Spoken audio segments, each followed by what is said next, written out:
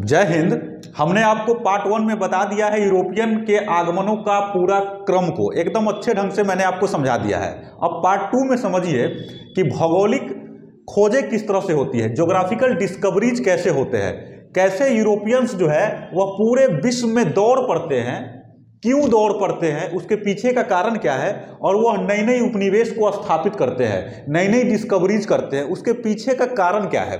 देखिए, कोई भी घटना घटित होती है तो उसके पीछे का कुछ ना कुछ पृष्ठभूमि होता है। तो उस पृष्ठभूमि, भूमि को समझने से उसके परिणाम को समझने में आपको आसानी हो जाएगा। और तब आपको सही सही पता लगेगा कि यूरोपियंस भारत में किस तरह से आ गए तो सबसे पहले हम ये जानते हैं कि उस समय हुआ क्या था।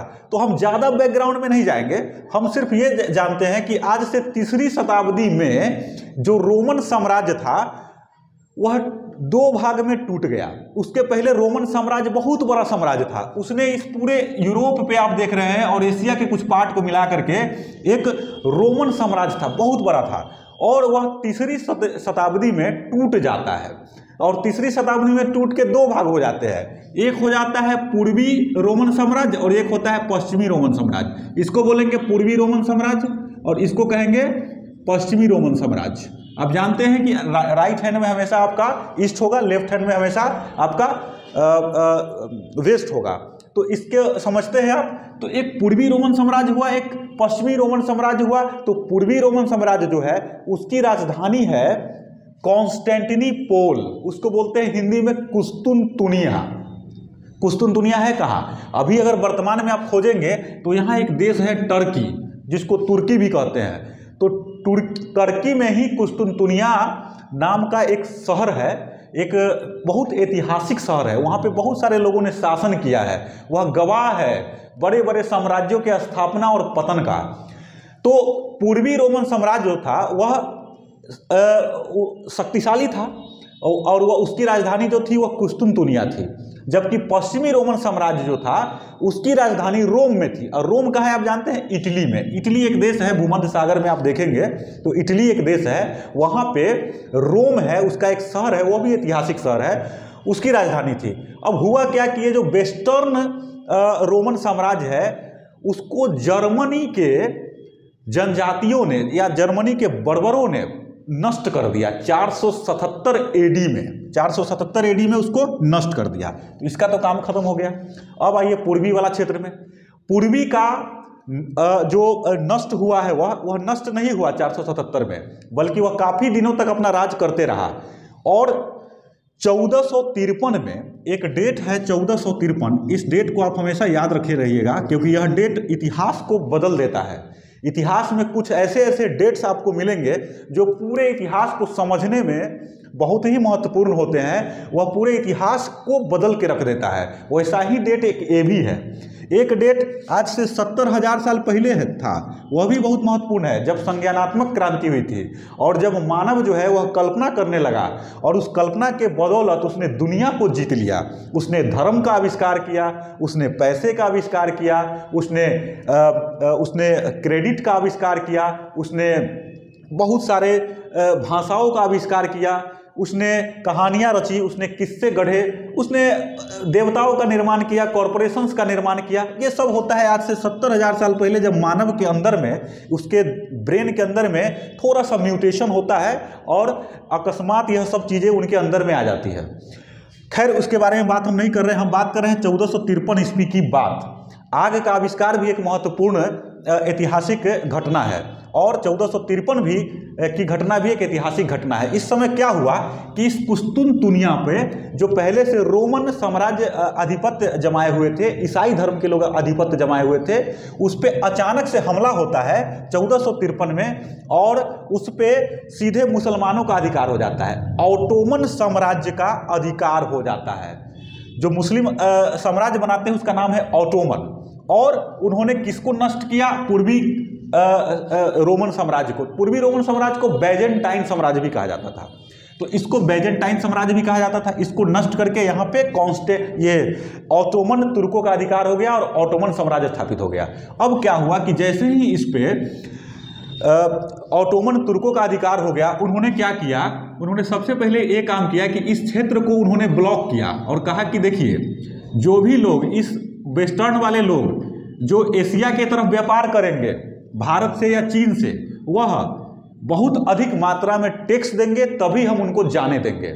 स्थलीय मार्ग ही एक एक रास्ता था जिससे पश्चिमी यूरोप में और एशिया में व्यापार होता था। अब बीच में एक क्षेत्र आ गया, दूसरे का अधिकार हो गया तो वो तो जाने नहीं देगा। वो कहा कि भैया, हमारे क्षेत्र से आपको जाने देंगे, लेकिन बदले में आपको टैक्स देना होगा बहुत अधिक मात्रा में। अब वो टैक्स जो है वो इतनी मात्रा में स्थापित कर दी गई कि उनको घाटा लगने लगा। कहा कि अब तो इस क्षेत्र से हम जा ही नहीं पाएँगे, अब हमको दूसरे क्षेत्र से व्यापार करने के लिए ढूंढना पड़ेगा रास्ते को। दूसरी बात आपको हम बता देते हैं। कि जब कुस्तुनतुनिया पर तुर्कों का अधिकार हुआ तो यहाँ के अधिकांश जो जो कॉन्स्ट्रक्टिव माइंड के लोग थे, जो दार्शनिक थे, जो कलाकार थे, जो वैज्ञानिक दिमाग रखते थे, वह भाग करके इटली चले आए। इटली। इटली में कहाँ भाग आए वह एक शहर है, उसको कहते हैं फ्लोरेंस। वो फ्लोरेंस शहर में भाग आए अब देखिए, जो भाग आए तो बहुत बड़ा एक क्रांति हो गया वहाँ पे फ्लोरेंस में, इटली में। जब वह तर्कवादी लोग, जब वह दार्शनिक लोग, समझदार लोग जब भागते हैं और जब इटली के फ्लोरेंस नगर में जाते हैं तो वहाँ वह पुनर्जागरण पैदा कर देते हैं। क्या करते हैं? एक शब्द है पुनर्जागरण। इसको आप याद करे रखिएगा। पुनर्जागरण होता क्या है? देखिए, मध्यकाल में यूरोप लगभग सो गया था। कोई विकास ही नहीं हो पा रहा था, कोई डिस्कवरीज नहीं हो रहे थे, कोई अन्वेषण नहीं हो पा रहा था। धर्म का प्रभाव इतना ज़्यादा हो गया कि लोग खोजना ही छोड़ दिए थे। जब किसी को जिज्ञासा होती थी कि पृथ्वी कैसे बना है तो उनको बस सिर्फ़ उनको बाइबल पढ़ लेना होता था। बाइबल में बता दिया है कि जो ईश्वर है जो जो पिता है, वह जो है पूरे विश्व की रचना कर देते हैं और वह बस ऐसे ऐसे रचना कर दी, उनके दिमाग में कुछ आया होगा, रचना कर दी, अब इससे ज़्यादा आप नहीं जानिए। तो लोग को जिज्ञासा ही खत्म हो गया। वो तो स्वर्ग की कल्पना करने लगे। उस समय ऐसा था ना कि पृथ्वी को चपटी मान लिया गया। कहा कि पृथ्वी कैसी है? चपटी है, वो ऐसी है। और चपटी ही नहीं, बल्कि अगर आप इधर से चलते हुए अगर लगातार कोर में चले जाएँगे तो एक ऐसा समय आएगा जब आप हचक से नीचे गिर के अंधेरों में विलीन हो जाएँगे। यानी कि इस पृथ्वी के चारों तरफ़ एक ऐसा गड्ढा है जिसमें कोई गिर करके एकदम विलीन हो जाएगा। यानी ऐसे ऐसे अंधविश्वास फैले हुए थे। लेकिन जब पुनर्जागरण पैदा होता है, लोगों में जागृति पैदा होती है इन लोगों के द्वारा जब वो पढ़ते हैं यूनान के और रोम्स के पुराने पुराने किताबों को पढ़ते हैं, जो पहले अन्वेषण हो चुका था। जब वो भारतीय किताबों को पढ़ते हैं, जब अरबों के किताबों को पढ़ते हैं, तब तो उनको अचानक से एक एक अंदर में इनलाइटमेंट होता है उसके अंदर में। और वो चीज़ों को समझना चाहते हैं, खोजना चाहते हैं। तब जाकर के पुनर्जागरण हो जाता है। ये होता है इटली में। इटली उस समय बहुत प्रसिद्ध जगह था। व्यापारिक दृष्टि से बहुत संपन्न था। इस पूरे यूरोप में अगर सबसे धनी अगर कोई था तो इटली ही था। रोम के लोग बहुत धनी थे और वो व्यापार भी करते थे। देखिए, यूरोपियंस लोग व्यापार नहीं कर पा रहे थे, लेकिन रोम जो है से व्यापार करता था इटली के लोग। इटली के लोग अपने माल को अरबी क्षेत्रों से खरीदते थे और उसको यूरोप में फैला देते थे और उससे वह लाभ लेते थे। अब यूरोपियंस लोग बड़ा जल रहे थे इस इटली से। उसको लगा कि इसका संपन्न, संपन्नता धीरे धीरे बढ़ते जा रहा है और हमारी जो है विपन्नता होती जा रही है।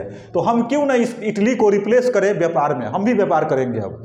और इनके अंदर में, सारे यूरोपियंस के अंदर में इटली से एक प्रकार का जलन पैदा होता है। और साथ ही साथ वो जब इधर देखते हैं कि अरबी लोग भी बहुत पैसा वाले हो चुके हैं, भारत से और चीन से व्यापार कर करके, इंडोनेशिया से व्यापार कर करके तो उनकी जलन और ज़्यादा बढ़ जाती है।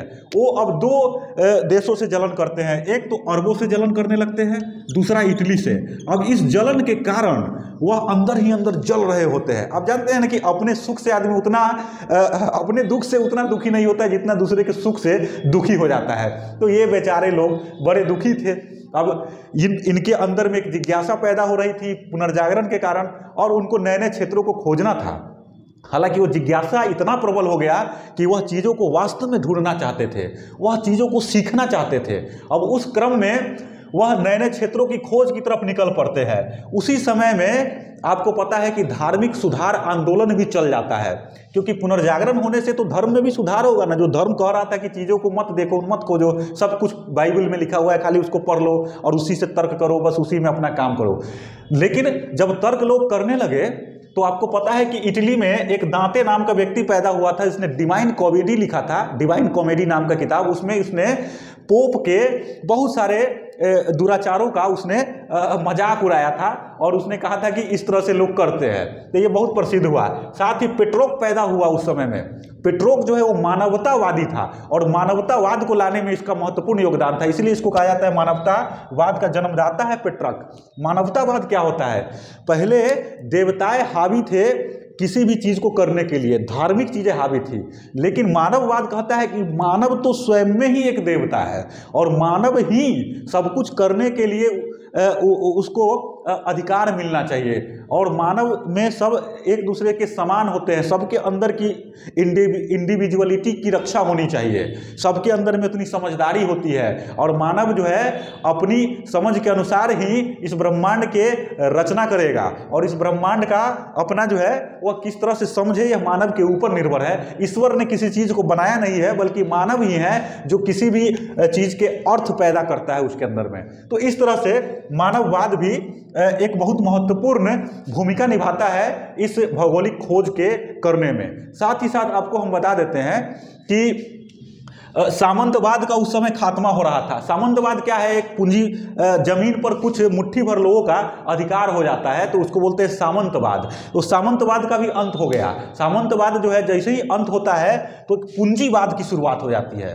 पूंजीवाद क्या होता है? पूंजीवाद का मतलब यह है कि लोगों के अंदर में एक जोखिम लेने की प्रवृत्ति पैदा हो गई। वो बिज़नेस करना चाह रहे हैं। और पूंजीवाद का ये डिमांड होता है कि जहाँ भी पूंजीवाद पैदा होगा, उसको दो चीज़ चाहिए। एक तो चाहिए उसको कच्चा माल, उसको चाहिए रो मटेरियल कच्चा माल। और उसके साथ साथ उसको एक चीज़ और चाहिए, बाज़ार, उपभोक्ता तभी चल सकता है उपभोक्तावाद या जिसको पूंजीवाद कहते हैं, वह कच्चा माल पे टिका होता है और बाज़ार पर टिका होता है। अब कच्चा माल चाहिए तो कच्चा माल तो यहाँ है नहीं यूरोप में तो वो तो ढूँढने निकलेंगे कि कच्चा माल कहाँ से लाए? तो वो लोग ढूँढने निकलते हैं पूरे बस विश्व में, एशिया की तरफ़ का मार्ग ढूंढते हैं, वहाँ से कच्चा माल लेंगे। फिर बाज़ार, जो कच्चा माल वो बनाएँगे, उसको उसको बेचने के लिए बाज़ार भी तो चाहिए। जब पुनर्जागरण होता है और साइंटिफिक रिवोल्यूशन हो जाता है इस क्षेत्र में तो जब फैक्ट्री खुलते हैं और उससे माल माल का मैन्युफैक्चरिंग वो लोग करते हैं तो उसको बेचना भी तो है कहीं ना कहीं पे। तो बाज़ार भी चाहिए। इसके लिए वह पूरे विश्व में दौड़ पड़ते हैं, बाज़ार को ढूँढने के लिए। और इससे साख का सृजन हो जाता है, कैपिटल का सृजन होता है, और उस साख से वह ज्वाइंट स्टॉक कंपनियाँ बना लेते हैं। ज्वाइंट स्टॉक कंपनियाँ जब बनाते हैं तो वह एक आदमी मिलकर नहीं बनाते, उसमें बहुत सारे सैकड़ों, हज़ारों लोग शामिल होते हैं। वो सब उसमें पूंजी लगाते हैं थोड़ा थोड़ा पैसा लगाते हैं, उसके शेयर को खरीदते हैं। और वह शेयर होल्डर्स जो जो जो कंपनी है, वह जा करके दूसरे दूसरे देशों में व्यापार करती थी। और भाई साहब, आपको हम जानकारी के लिए बता देते हैं कि ये जो ज्वाइंट स्टॉक कंपनियाँ हैं यह बहुत अधिक लाभ कमाती रहती है। कोई भी उस कंपनी में पैसा लगा करके रातों रात लखपति बन जाता था। तो एक आकर्षण था लोगों का कि भैया उसमें कंपनी में पैसा लगाओ और वह कंपनी जो है विश्व में ढूंढेगी अपने जगहों को, वहाँ उपनिवेश स्थापित करेगी, वहाँ से जो लाभ कमाएगी, उसमें आपका हिस्सा भी देगी। इस तरह से खोज शुरू हो जाते हैं। तो इस चीज़ को हम लोग समझते हैं कि कैसे कैसे क्या हुआ। इस पूरे बैकग्राउंड को आपको समझे जोग्राफिकल डिस्कवरीज के और भी क्या क्या कारण थे, उसको भी आप समझ लीजिए। देखिए उस समय मानचित्र भी बनाए गए थे। जब यह पुनर्जागरण का काल चला तो उस समय मानचित्र भी बना। मर्केटर नाम का एक विद्वान था, एक भूगोलवेत्ता था वह, उसने एक मानचित्र बनाया। और मानचित्र क्या था? शुद्ध दिशा प्रक्षेप था वह वह समुद्र में बहुत सारे लोग पहले जब यात्रा करते थे, उनको दिशा का सही सही जानकारी नहीं मिल पाता था। साथ ही साथ वो भटक भी जाते थे रास्ते को और अपनी जान तक गवा देते थे।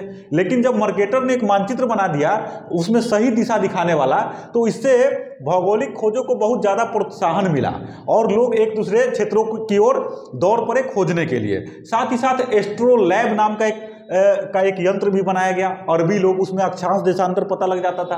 तो उससे भी भौगोलिक खोजे को प्रोत्साहन मिला। साथ ही साथ अरबी लोगों को मानसून के बारे में जानकारी था। वह जानकारी यूरोपियंस के पास भी पहुँचा और मानसून को जानना बहुत ज़रूरी है क्योंकि एशिया से व्यापार करना है और मानसून को नहीं जानेंगे तो आप व्यापार नहीं कर पाएँगे। मौसम को तो जानना ही पड़ेगा ना किस मौसम में कि, कितनी वर्षा होती है कब धूप होता है। तो किसी क्षेत्र पर अधिकार करने के लिए आपको उसके भूगोल को भी जानना होगा। साथ ही साथ उसके राजनीति को समझना होगा, उसकी संस्कृति को जानना होगा, उसके धर्म को जानना होगा, उसके लोगों के बारे में समझना होगा, उनके बोलियों को समझना होगा, उनके कल्चर्स को समझने होंगे, उनकी आदतें और व्यवहार को समझना पड़ेगा। वह किस चीज़ से खुश होते हैं और किस चीज़ से नाराज़ होते हैं, ये सब समझना पड़ेगा। और ये सारी जानकारी जो यूरोप वाले को समझ में आने लगा कि हमको जब उपनिवेश स्थापित करना है, दूसरे विश्व को खोजना है तो ये सारी चीज़ हमको सोचना पड़ेगा। और इसीलिए जब वो खोजने के लिए निकलते थे अपने जहाज़ से तो उस जहाज़ पे तरह तरह के वैज्ञानिकों को बैठा लेते थे। कोई जोग्राफर होता था, कोई बायोलॉजिस्ट होता था, कोई भाषा का वैज्ञानिक होता था सैनिक भी लेके साथ में चलते थे कहीं किस तरह से चीज़ें आ जाएगी सामने और कैसे सामना करे करना पड़ेगा इन सभी चीज़ों के लिए वो सतर्क रहते थे। और नए नए नाव का भी आविष्कार किया उन्होंने। नाव इसलिए बनाया क्योंकि उस समय इंडस्ट्रियल रिवोल्यूशन टाइप का भी एक कुछ हो, हो रहा था। तो वो लोग को नाव को एकदम अच्छे ढंग से परिष्कृत ढंग से और हल्के नाव बनाने में मदद मिला। और उस नाव के बदौलत भी वह बहुत दूर दूर तक की यात्रा कर सके। साथ ही साथ आपको हम बता देते हैं कि एक कॉन्सेप्ट चल रहा था उस समय में टोलमी का दिया हुआ एक मानचित्र भी बनाया था टोलमी ने। टोलमी रहने वाले थे बेसिकली कहाँ के? टोलमी यूनान के आसपास के रहने वाले, ये कुछ लोग कहते हैं रोम के रहने वाले थे, कुछ लोग मिस्र में कहते हैं। तो टोलमी वहाँ के थे टोलमी बहुत बड़ा विद्वान था। टोलमी ने कहा कि जो पृथ्वी है ना, उसकी उसकी परिधि को उसने बहुत छोटा मापा। कहा कि बहुत छोटा है। इसीलिए लोगों को लगता था क्या कि हम किधर से भी यात्रा करेंगे? जैसे कोलंबस है, कोलंबस को लगा कि पृथ्वी बहुत छोटा है, इसलिए हम अगर पश्चिम से यात्रा करेंगे तो हम तो ऐसे ही पहुँच ही जाएँगे इधर एशिया के तरफ़, इधर भारत के तरफ़। लेकिन जब वह चलना शुरू करता है तो नब्बे दिन से भी ज़्यादा दिन तक उसको ज़मीन ही नहीं दिखाई देता है तो लगता है कि नहीं, पृथ्वी इतनी बड़ी नहीं है, उसकी परिधि बहुत बड़ी है। तो इससे क्या है जोग्राफिकल डिस्कवरीज भी हो रहे थे, इससे पता लग रहा था कि किस तरह की पृथ्वी इस तरह से है। यह गोल है। यह जो है, यह आपको तस्तरी नुमा नहीं है और और बहुत बड़ा भी है। उस समय जो प्रचलन था कि छोटा है तो ऐसा नहीं है। दूसरी बात आप जानते हैं कि एक व्यक्ति था जिसने कहा था हाँ टोलमी नहीं कहा था जियो सेंट्रिक कॉन्सेप्ट। उसने क्या कहा था कि जो सौर मंडल है ना, पृथ्वी इसके केंद्र में है और इसके चारों तरफ़ जैसे सूर्य है, जैसे ग्रह है, वह चक्कर लगाते रहते हैं। तो यह कॉन्सेप्ट भी कोपरनिकस के आने से समाप्त हो गए। कोपरनिकस ने कहा, नहीं नहीं, सूर्य के, ये जो पृथ्वी है, वह सौर मंडल के केंद्र में नहीं है, बल्कि हमारा जो सौर मंडल है, यह तो एक बहुत छोटा सा पार्ट है ब्रह्मांड का, और उस सौर मंडल में एक सूर्य है, उस सूर्य के चारों तरफ़ ग्रह परिक्रमा लगाते हैं, और ग्रह के चारों तरफ़ उपग्रह परिक्रमा लगाते हैं। उसकी बात एकदम सही थी। उसके बाद ग्रह गति का नियम भी दिया गया केपलर के द्वारा। ऐसे ऐसे यूरोप में बहुत सारे अन्वेषण शुरू हो जाते हैं, और साथ ही साथ इसका परिणाम क्या निकलता है, वह देख लीजिए। परिणाम निकला कि नए नए उपनिवेश स्थापित हो गए, साम्राज्यवाद स्थापित हो गया। साम्राज्यवाद, यानी साम्राज्यवाद क्या होता है? उन्होंने अपने अपने जो जो क्षेत्र को खोजते थे, उस क्षेत्र पे कब्जा जमा करके अपना झंडा गाड़ देते थे, उसको गुलाम बना लेते थे, वहाँ के संसाधनों का इस्तेमाल यूरोप में करते थे, यूरोप को धनी बना रहे थे, उनको गरीब बना रहे थे। साम्राज्यवाद एक ऐसी पॉलिटिकल अवधारणा है, जिसमें ये समझा जाता है कि उसमें सांस्कृतिक विविधताएँ बहुत होती है, क्योंकि वह बहुत क्षेत्रों को मिला करके बनाई जाती है। जैसे स्पेन ने इस पूरे क्षेत्र में अधिकार कर लिया। पूरे क्षेत्र पे इंका और एजडेक की सभ्यता पे अधिकार कर लिया उसने। तो इस क्षेत्र में बहुत सारी विविधताएँ थी, सबको मिला करके एक साम्राज्य बनाया उसने। जैसे ब्रिटेन में भारत, चीन सब मिला करके एक साम्राज्य बनाया था उसने। तो साम्राज्य में भौगोलिक विविधता तो होती है, सांस्कृतिक विविधता भी होती है और एक पॉलिटिकल इकाई है। इसको आप याद रखे रहिएगा। और वह किसी भी क्षेत्र को अपने में लील लेने के लिए हमेशा ललायित रहता है कि और बड़ा करना है, और बड़ा करना है। तो इस तरह से आजकल साम्राज्यवादी देश तो कोई नहीं रहा, लेकिन हम लोग कभी कभी चीन को कह देते हैं कभी कभी अमेरिका को भी कि साम्राज्यवादी है। लेकिन अब उस तरह साम्राज्यवाद नहीं रहा, जो उस जमाने में हुआ करता था। साथ ही जब भौगोलिक खोजें हुई ना तो बहुत सारे लोगों को गुलाम भी बना लिया गया। आपको पता है कि गुलाम का व्यापार शुरू हो गया, जिसको बोलते हैं दास प्रथा, वो शुरू हो गई।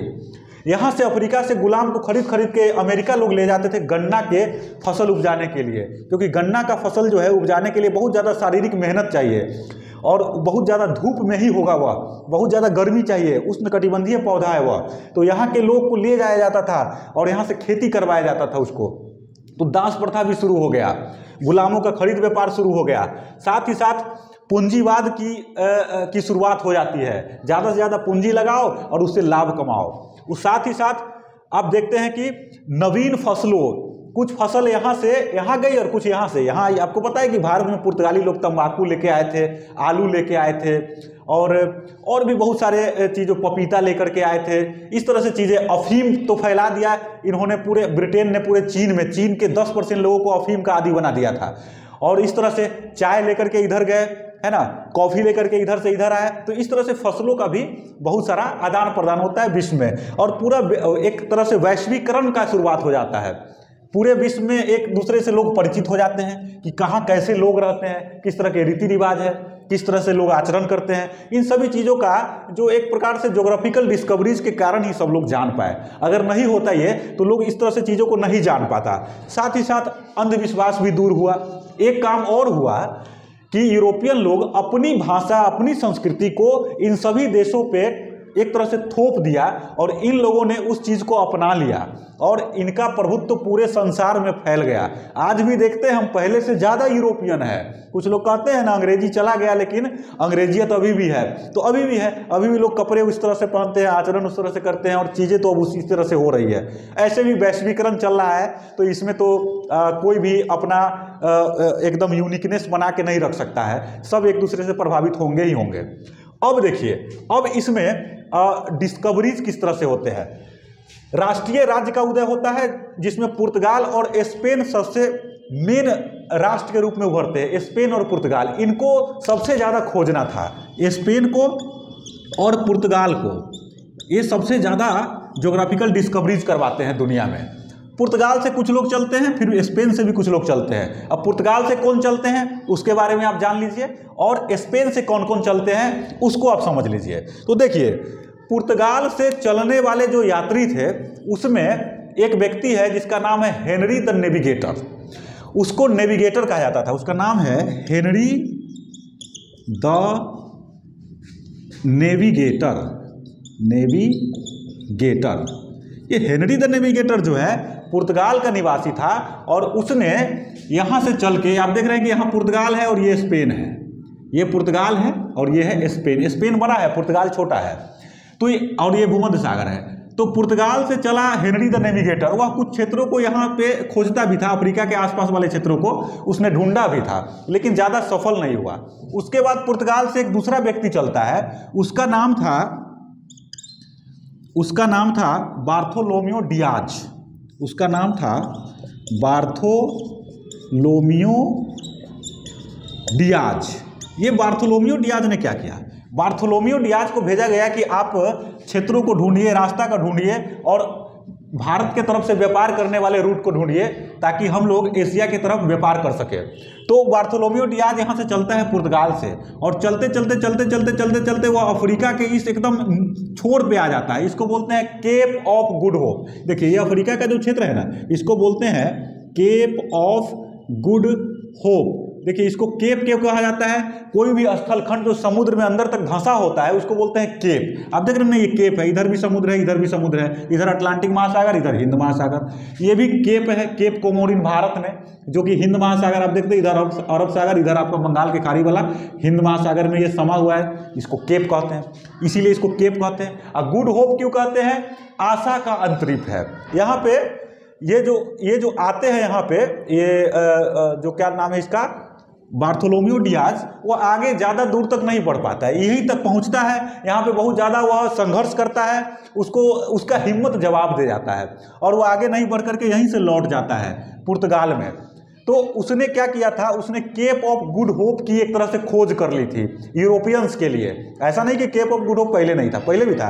यूरोपियन को नहीं पता था तो उनको मालूम चला, इसलिए बार्थोलोमियो डियाज को कहा जाता है केप ऑफ़ गुड होप को खोजने वाला है। अब हम आगे देखते हैं और आगे कौन कौन क्या क्या खोजता है। कोलंबस के बारे में आप जानते होंगे। अब कोलंबस को देखिए कि वो क्या किया था। देखिए कोलंबस जो था ना, वह रहने वाला कहाँ का था? रहने वाला तो इटली का था वो। लेकिन उसको भेजा किसने था? स्पेन ने। एक्चुअली कोलंबस जो था ना वह जिज्ञासु प्रवृत्ति का आदमी था। पैदा हुआ इटली में, लेकिन जा करके पुर्तगाल में रहता था, लिस्बन में वह रहने लगा था, अपने भाई के साथ। उसका भाई बड़ा बड़ा मानचित्रकार था। लेकिन हुआ ऐसा कि जब वह उसको खोजने का एक प्रवृत्ति सवार हुई कि हमको खोजना है विश्व को तो सबसे पहले इटली के सरकार को उसने कहा कि हम तो यहाँ के निवासी हैं, आप मुझे सुविधाएँ मुहैया कराइए, संसाधन दीजिए, और और हम नए नए क्षेत्रों की खोज करेंगे। तो इटली के लोग तैयार नहीं हुए। फिर उसने पुर्तगाल को कहा कि भाई, आप हमको मुहैया कराइए, संसाधन, हमको नया क्षेत्र खोजना है। इससे आपको भी फ़ायदा होगा। लेकिन वह तैयार नहीं हुआ।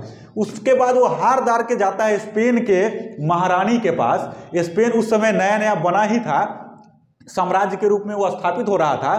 तो स्पेन के रानी को उसने कहा, इसाबेला को, कि मुझे जाने की इजाज़त दीजिए और मैं आपके लिए क्षेत्र ढूंढूँगा। तो ईसाबेला तैयार हो गई और बोली कि ठीक है, जाओ। और सोचिए, ईसाबेला जो तैयार हुई तो दुनिया किसके मुट्ठी में गया? स्पेन ने एक बहुत बड़ा साम्राज्य स्थापित कर लिया था। स्पेन का भाग्य उदय होने वाला था सिर्फ़ कोलंबस के कारण। अब कोलंबस क्या किया कि यहाँ से तीन जहाज़ों का बेरा लिया और अपने साथ कुछ लोगों को लिया, अपने साथ कुछ सैनिकों को लिया। कहा जाता है वो नब्बे नाविक के साथ चला और यहाँ से चला और चलते चलते वह पहुँच गया कहाँ पे? अमेरिका में। अब आप सोचिएगा कि कोलंबस जो है वह एक्चुअली में आना चाहता था भारत के तरफ़। वह चाहता था कि भारत में जाए और इस तरह से चीन और वगैरह इंडोनेशिया वगैरह की खोज करके हम लौट जाए। मेन मोटिव था भारत। लेकिन वो भारत पहुँचा नहीं वो पहुँच गया अमेरिका। एक्चुअली हुआ क्या था? उसके अंदर में एक चीज़ का भ्रम था। उसको लगता था कि दुनिया बहुत छोटी है बहुत छोटी है। आ, आराम से हम किस तरफ़ से भी जाएँगे तो हम वहाँ तो पहुँच ही जाएँगे। दूसरा भ्रम उसमें था कि उसने किताब पढ़ा था इमेजियो मुंडी का।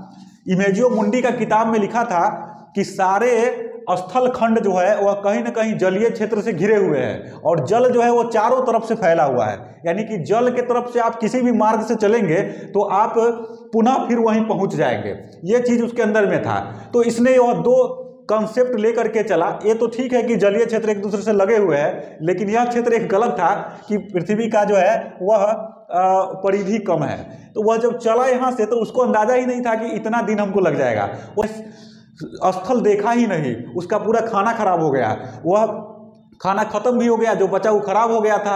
अब उसके जो, उस पर जो सवार थे नाविक उन्होंने विद्रोह कर दिया। कहा कि कोलंबस को वापस चलिए। लेकिन कोलंबस वापस नहीं भागना चाह रहा था। उसने कहा, ऐसे जैसे पुष्पा फ़िल्म में देख रहे हैं ना, कि झुकेगा नहीं, वो इस तरह से जो चल रहा है, उसने भी कहा कि झुकेगा नहीं, जब तक खोजेंगे नहीं, छोड़ेंगे नहीं। उसके बाद वह आगे बढ़ता है, किसी तरह से अपने नाविकों को मना लेता है। अब उसके नाविक जो है एक्चुअली उसमें बीमारी भी फैल जाती है, उसको बोलते हैं रहस्यमय बीमारी। एक बीमारी फैल जाती है, रहस्यमय बीमारी। यह है, होता क्या है? यह एक प्रकार का स्कर्वी नाम का बीमारी है, स्कर्वी। स्कर्वी होता कैसे है? विटामिन सी के कमी से होता है। विटामिन सी अगर कम हो जाए किसी के शरीर में, स्कर्वी नाम का बीमारी हो जाएगा। वह क्या होता है? उससे आपका हड्डी कमज़ोर हो जाएगा, दांत जो है गिरने लगेगा, मसूरा फूल जाता है और आदमी चलने फिरने में असमर्थ हो जाता है। और लगातार समुद्र में इतने दिन तक रहने से स्कर्वी नाम की बीमारी हो जाती थी और उसके नाविकों को भी हो गया और बहुत सारे लोग तो मर गए। उसके बाद किसी तरह से वह बहामास द्वीप पे पहुँचता है। यहाँ पे एक बहामा द्वीप है। यहाँ पे एक हैती भी है, वहाँ पे वो पहुँचता है, पहली बार स्थलखंड को देखता है और वहीं पे स्पेन का झंडा गाड़ देता है और कहता है कि अब से यह पार्ट जो है स्पेन का हो गया। और उसके बाद उसकी अगली कहानी शुरू होती है, उसके बाद वह दूसरी बार फिर आता है, फिर यहाँ पे कुछ क्षेत्रों को जीतता है। फिर चला जाता है, उसके बाद तीसरी बार फिर आता है। तीसरी बार जब आता है तो उस पर विश्वासघात कर दिया जाता है उसी के नाविक के द्वारा। उसको बंदी बना के लोग ले जाते हैं स्पेन, लेकिन स्पेन की रानी उसको माफ़ कर देता है। और चौथी बार फिर वह आता है, और उसके बाद बहुत बड़े क्षेत्र को फिर से अधिकार कर लेता है। यहाँ पे इनका और एजडेक की सभ्यता को नष्ट वष्ट कर करके उस पर शासन स्थापित कर देता है। इसीलिए भाई साहब आपको अगर आप पढ़ेंगे इसके पूरे इतिहास को तो पूरा मैक्सिको और दक्षिण अमेरिका पर जो है उसके अधिकांश क्षेत्रफल पर स्पेन का अधिकार हो जाता है बहुत बड़ा साम्राज्य स्थापित कर लेता है। चौथी बार भी आता है और उसके बाद वह लौटता है, उसके बाद वह जाकर के बाद में वो बीमार पड़ जाता है, उसके बाद वो मर जाता है। तो कोलंबस ने इतना बड़ा काम कर दिया। अब यहाँ पे आता है तो उसको लगता है कि हम इंडिया को ढूंढ लिए। वह ज़िंदगी भर इंडिया ही समझता रहा इस क्षेत्र को और वह मर भी गया, लेकिन उसको पता नहीं चला कि इंडिया नहीं है। उसको लगा कि यही इंडिया है। यहाँ के लोगों को देखा तो देखा कि लाल लाल लोग हैं। माने उसकी त्वचा का रंग जो है लाल लाल है। एकदम ऐसे मत समझिए कि गुलाब की तरह लाल। वो लाल लाल, उसकी स्किन का रंग होता है। एक्चुअली यहाँ भी, अभी भी रेड इंडियन रहते हैं। उसका नाम है रेड इंडियन तो उसने, उसी ने नामकरण कर दिया था रेड इंडियन और छोटा छोटा द्वीप है। इसको बोलते हैं आजकल वेस्ट इंडीज पहले उसको बोला जाता था ईस्ट इंडीज देखिए ईस्ट इंडीज के, इसको लगता था कि हम पूरब में आ गए हैं। और जो है, ये क्षेत्र जो है इंडिया है। तो इसको, इसने ईस्ट इंडीज कहा, हालाँकि यह ईस्ट इंडीज नहीं है। ईस्ट इंडीज तो इस क्षेत्र को कहते हैं। यहाँ भी द्वीपों का समूह है, इसको कहते हैं ईस्ट इंडीज इसको कहते हैं वेस्ट इंडीज इसको कहते हैं ईस्ट इंडीज इसको कहते हैं वेस्ट इंडीज उस समय बड़ा कंफ्यूजन हो गया था, बाद में लोग समझ गए कि यह वेस्ट इंडीज है, यह ईस्ट इंडीज है। वेस्ट इंडीज कोई देश नहीं है, यह द्वीपों का समूह है, यहाँ बहुत सारे द्वीप है। तो इसको आप समझ गए हैं? तो इसने वेस्ट इंडीज की खोज कर दी। उसके बाद क्या हुआ? अच्छा ये चला कब था? चौदह में। यह स्पष्ट हो गया। अब इसके खोज से बाकी लोगों में भी प्रोत्साहन पैदा हुआ। बाकी लोग भी ईर्ष्या करने लगे कि हम भी खोजेंगे, हम भी खोजेंगे। अब यहाँ से चल पड़ा सारे देश लोग खोजने के लिए। उसमें एक महत्वपूर्ण घटना घटित हुई कि पुर्तगाल के जो एक नाविक था, उसका नाम था वास्को डिगामा वो पुर्तगाल का था यहाँ से। पुर्तगाल वाला पीछे क्यों रहेगा? पुर्तगाल वाला ने कहा वास्को डिगामा कि तुम ढूंढो भारत के, के लिए रास्ता। अब उसको पता था कि कोलंबस जो है वह गलत रास्ते पे चला गया तो हम जो है सही रास्ता पकड़ेंगे इंडिया को ढूँढने के लिए। वो क्या किया कि यहाँ से चलना शुरू किया अटलांटिक महासागर में। ये अफ्रीका से थोड़ा सा तट से दूर से चलना शुरू किया। यहाँ से चलते चलते चलते चलते वो यहाँ पहुँचता है। यहाँ पे वो रुकता है कुछ दिनों के लिए, उसके बाद फिर यहाँ से चल करके वो केप ऑफ़ गुड होप पहुँचता है। उसको उत्तमांसा अंतरिप कहते हैं। यहाँ पे रुकता है और यहाँ पे ढूंढता है किसी भारतीय को कि कोई मिल जाए जो हमको रास्ता बता दे कि भारत किस तरफ़ है। यहाँ पे आते आते उसको नब्बे दिन लग जाता है। और बहुत ज़्यादा संघर्ष करता है। इसमें भी वही चीज़ है। इसके भी सैनिक विद्रोह कर देते हैं, लेकिन धीरे धीरे ये मना लेता है। उसके बाद स्कर्बी नाम की बीमारी इसके भी नाविकों को हो जाता है। इसके नाविक भी मारे जाते हैं। कहा जाता है नब्बे से ज़्यादा नाविक इसके मारे गए थे। उसके बाद वह यहाँ पे एक अब्दुल मजीद नाम का व्यक्ति उसको मिलता है, जो वाकई में एक व्यापारी होता है गुजरात का। यह गुजरात से गया होता है, व्यापारी होता है और एक तरह से वह रास्ता बताने का काम भी करते रहता है। उसका काम ही यही होता है। तो वास्को डिगामा उसको पकड़ता है और कहता है, चलो, अब रास्ता तुम बताओ हमको। एक्चुअली वास्को डिगामा बहुत सारा किताब को पढ़ रखा होता है कि इंडियन को कैसे ढूंढे। तो इंडियन जो होते हैं ना, उसमें एक खास विशेषता होती है। अगर आप लगातार उस पर देखते रहेंगे इस तरह से, इस तरह से तो वो टोक देगा, का हो? की बात बात? तो ऐसे टोक देगा वो। तो वो इसने पढ़ा हुआ था, वो सब जगह जा जा करके वास्को डिगामा ढूंढता था, किसी पर ताकते रहता था। तो कोई कह रहे पागल है क्या? लगातार देखते रहता है।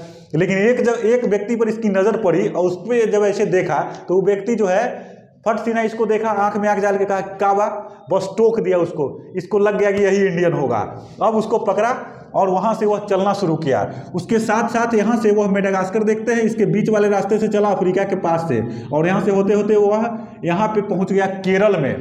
केरल में शासक था जमोरिन। उसका नाम था जमोरिन। जमोरिन ने इसको स्वागत किया, कहा, वाह, बहुत अच्छा। आप आगे आइए। हम, हमसे व्यापार करिए। अरबी लोग से व्यापार तो पहले से चल रहा था, इसने भी कहा, हम भी व्यापार करेंगे। और यहाँ से कुछ सामान को लेकर के और भी सामान को लेकर के, मसाले वगैरह को लेकर के, वह फिर से इसी रास्ते से होकर के वह पुर्तगाल लौट गया। और उसने अपनी पूंजी जितना उसने लगाया था, इस यात्रा में जितना खर्च हुआ था, उसका साठ गुना ज़्यादा, साठ गुना ज़्यादा रकम उसने कमाया। उसको बेच करके, उसने मसालों के बेच करके। तब कहा यूरोपियन वाला कहा कि बाप रे, ये तो बहुत ज़्यादा लाभ मिलेगा इंडिया से व्यापार करने में। तब यहाँ से लोग चलना शुरू करते हैं और भी। उसके बाद जो है, आपको पता है कि डच भी चलते हैं, अंग्रेज़ भी चलते हैं, उसके बाद डेनमार्क वाले लोग चलते हैं, फ्रांसीसी चलते हैं, एकदम होर लग जाता है पूरा इस क्षेत्र में। और उसके बाद क्या होता है, जब बास्को डिगामा पहुँचता है तो बास्को डिगामा का जो खोज था, जो इस समुद्री मार्ग को उसने ढूंढ निकाला था, इसका एक बहुत बड़ा प्रभाव पड़ता है। इसका प्रभाव ये पड़ता है कि ये सारे लोग दौड़ पड़ते हैं और इस क्षेत्र में आकर के उपनिवेश स्थापित कर लेते हैं। पूरे विश्व का नक्शा को बदल के रख देते हैं। उसने साम्राज्यवादी एक एक साम्राज्यवाद को पैदा कर दिया था। तो बास्को डिगामा जो है, आया तो बहुत बड़ा एक क्रांति पैदा कर दिया था इस क्षेत्र के लोगों लोगों के लिए। और संपन्नता का एक मार्ग प्रशस्त कर दिया था इसने कि हम ऐसे व्यापार करेंगे और यहाँ पे संपन्न होंगे।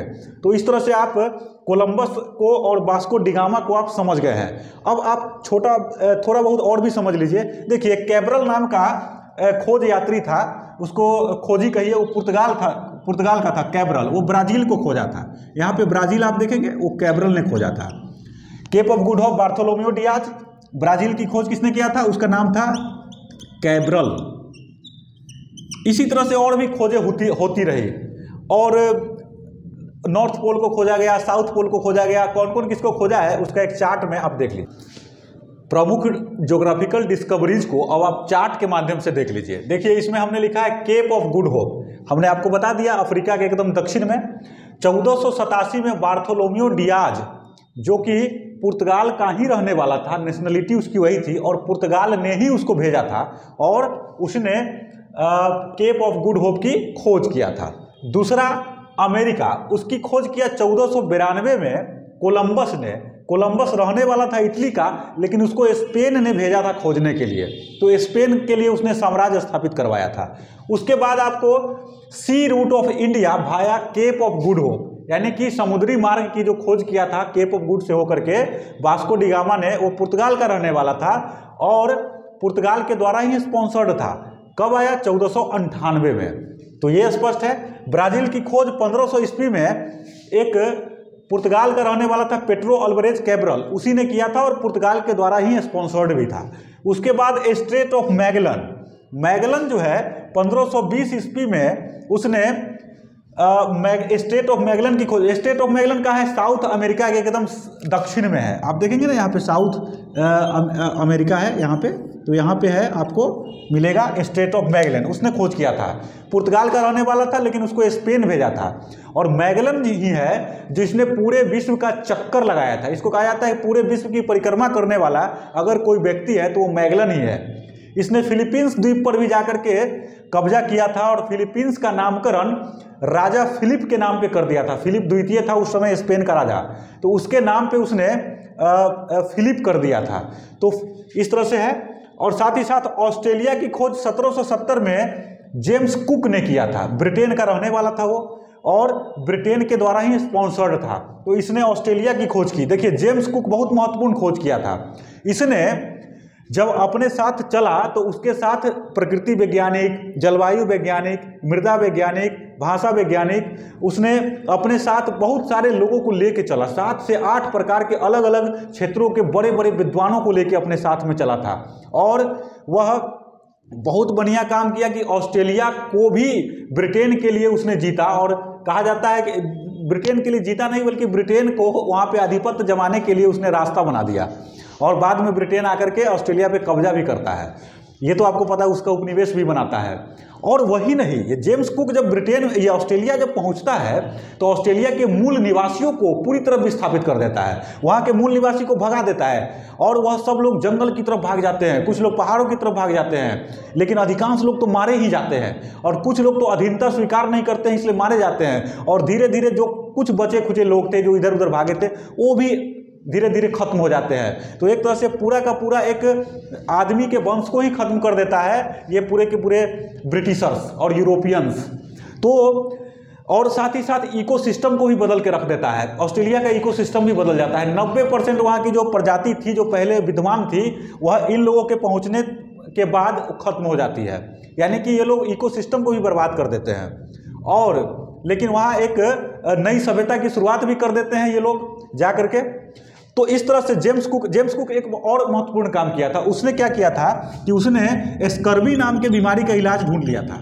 इलाज कैसे ढूंढा था? ये डॉक्टर था क्या? इसने नहीं ढूंढा था। एक्चुअली हुआ क्या था कि इसने अपने नाविकों के साथ बहुत सारे खट्टे गोभी लेकर के चला था। और वह अपने नाविकों को लगातार कहते रहता था कि डेली इसका सेवन करो, खाओ, उसमें विटामिन सी होता है। विटामिन सी जब शरीर में रहेगा तो स्कर्वी नाम की बीमारी नहीं होगी और कोई मरेगा नहीं। तो इसने एक तरह से खोज कर ली कि अगर समुद्री यात्रा आपको करना हो तो विटामिन सी आपके पास होनी चाहिए। खट्टे रसदार फल खाइए और विटामिन से आप विटामिन की पूर्ति आप करते रहिए।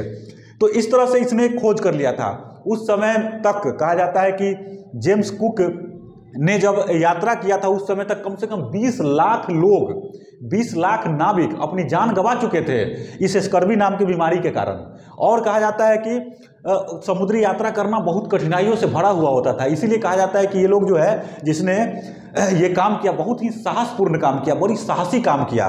और तब जाकर के ये सारे के सारे लोग सारे के सारे देश जो है वह उपनिवेश स्थापित कर लेता है। अब उपनिवेश कैसे स्थापित होता है, ये हम आपको अगले पार्ट में बताएँगे। तब तक के लिए आपसे हम विदा लेते हैं। जय हिंद।